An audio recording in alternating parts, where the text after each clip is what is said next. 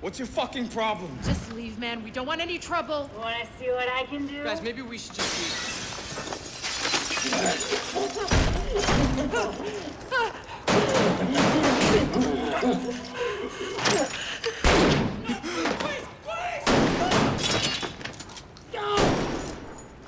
No fucking way. Look at this. Fucking alert! This is